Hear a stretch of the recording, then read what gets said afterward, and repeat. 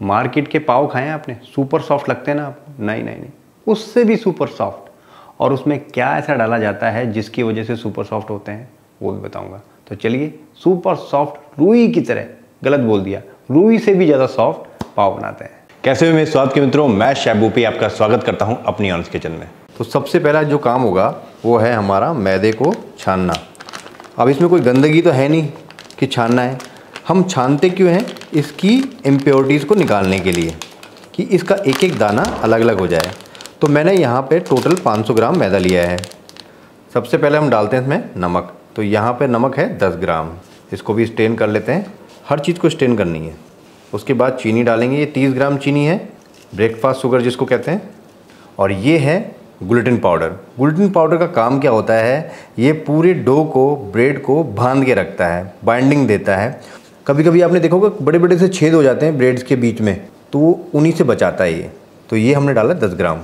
और ये जो चीज़ है, ये कभी भी आपको लोकल बेकरी के अंदर नहीं डालेंगे। अब ये क्या चीज़ है? ये है ब्रेड इम्प्रूवर इससे ब्रेड हमारी अच्छी बनती है, शाइन आती है और ब्रेड ख़राब नहीं होती है। आप चाहें तो इसको स्किप भी कर सकते हैं, ज़रूरी नहीं है डालना। लेकिन अगर है तो ज़रूर डालें। इसका केमिकल नेम है एक्रोबिक एसिड लेकिन जो लोकल बेकरी होती है, उसमें ये नहीं डालते। वहाँ पे क्या करते हैं? वहाँ पे जो लोकल केमिकल्स होते हैं, उसका इस्तेमाल किया जाता है।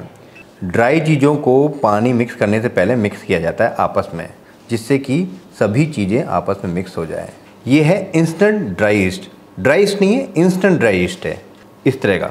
आप कोई सा भी ब्रांड ले लीजिए, लेकिन टावर का ब्रांड काफ़ी अच्छा रहता है और आप 10 से 12 ग्राम इसका इस्तेमाल कर सकते हैं। अब इसमें क्या करना है? इसमें सीधे ही पानी डालते हैं यहाँ पे।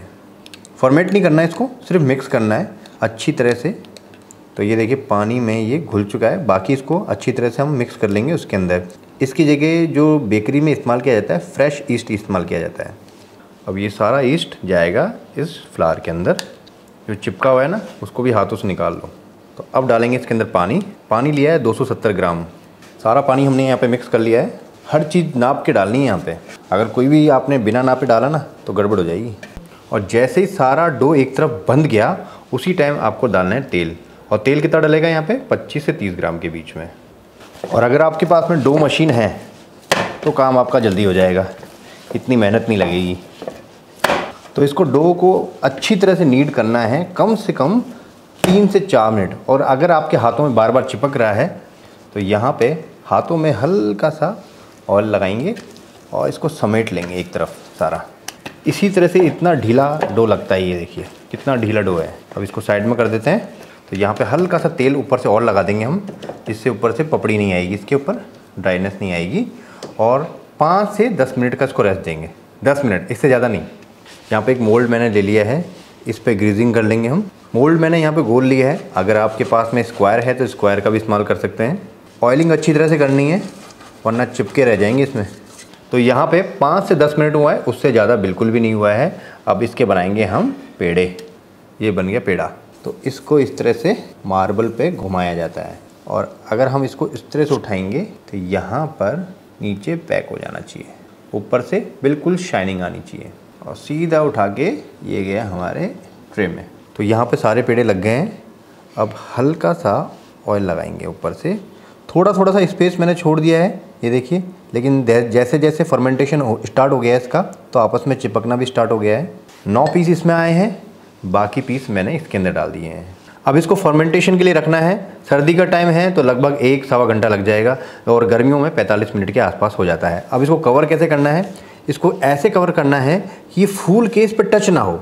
अगर इस पर टच हो गया ना तो ये सारे ख़राब हो जाएँगे। तो इस तरह से बर्तन ले रहे हैं। तो देखिए, इसकी हाइट इतनी आएगी नहीं तो मैं इसको यहाँ पर ऐसे रख देता हूँ, जिससे कि इस पर टच नहीं होएगा और ये सूखेंगे भी नहीं। तो इसको लगभग एक घंटे के लिए हम रख देते हैं। तो यहाँ पे लगभग एक घंटा हो चुका है और ये देखिए, यहीं पे सेट हो गया है। और अगर हाथ लगा के देखेंगे ना, हल्का सा ऐसे लगा के देखिए इस तरह से। बिल्कुल जैसे बलून्स होते हैं ना, उसकी तरह हो गए हैं। ज़्यादा हाथ मत लगाना ना बैठ जाएँगे। और ऊपर से एक बढ़िया सा कलर आ जाए तो यहाँ पे हम हल्का हल्के हाथों से दूध लगा लेंगे। आप चाहें तो पानी भी लगा सकते हैं। वैसे होटल्स के अंदर और बेकरीज के अंदर दूध का इस्तेमाल नहीं किया जाता है।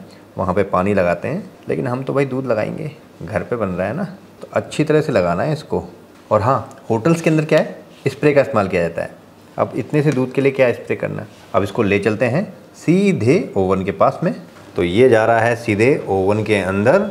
ओवन का टेम्परेचर होना चाहिए 200 डिग्री सेल्सियस। और 20 मिनट के लिए हम इसको रखेंगे और इसको भी रख लेते हैं। जो हमारे पाव बच गए थे। 20 मिनट के बाद देखते हैं। तो यहाँ पे लगभग 20 मिनट हो गए हमारे। वाह ये तो बहुत ही बढ़िया कलर आ गया है। ये देखिए आप शानदार वाले पाव रेडी हो गए हैं। फटाफट से निकाल लेते हैं। जैसे ही हमने ओवन से इनको बाहर निकाला उसके बाद में इसके ऊपर ऑयल लगाना है अच्छी तरह से। ऑयल की जगह आप बटर का भी इस्तेमाल कर सकते हैं। अगर आप ऑयल या बटर का इस्तेमाल नहीं करेंगे तो ये हार्ड हो जाएँगे। बहुत ज़्यादा इंपॉर्टेंट पार्ट है इस रेसिपी का। तो यहाँ पे लगभग 10 मिनट हो गए हैं। और ये देखिए शानदार सॉफ्ट हो गए, लेकिन अभी भी गर्म है। और इसको गर्म गर्म नहीं रखना है इसके अंदर ज़्यादा देर, वरना नीचे से गीले हो जाएँगे। इसको जाली पे रखते हैं अपन। अब नीचे से भी कलर देख लेते हैं। और ये देखिए, शानदार वाला कलर इसमें आ गया है। और अब इसको इस तरह से एक जाली पे रखेंगे, जिससे इसको हवा लगे। इसको नीचे की तरफ़ से हवा लगेगी तो ये नीचे से गीला नहीं होएगा।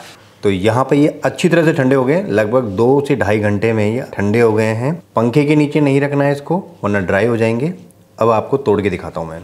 जब अच्छी तरह ठंडे हो जाए ना, उसके बाद ही तोड़ना। ये देखो, कमाल आप, कमाल देखिए आप सबसे पहले।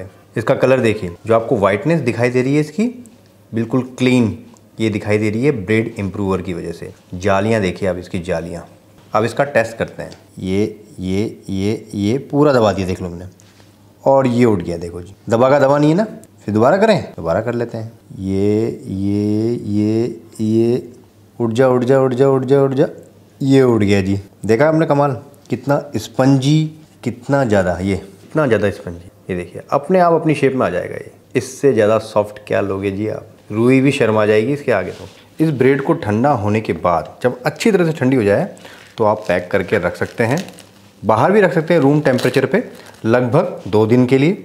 और अगर फ्रिज में रखना चाहते हैं तो लगभग पाँच से छः दिन के लिए। क्लीन रैप है तो क्लीन रैप में पैक करके रख लीजिए। वरना किसी ऐसी पॉली बैग में पैक रख सकते हैं, जिसमें किसी तरह हवा नहीं लग रही हो।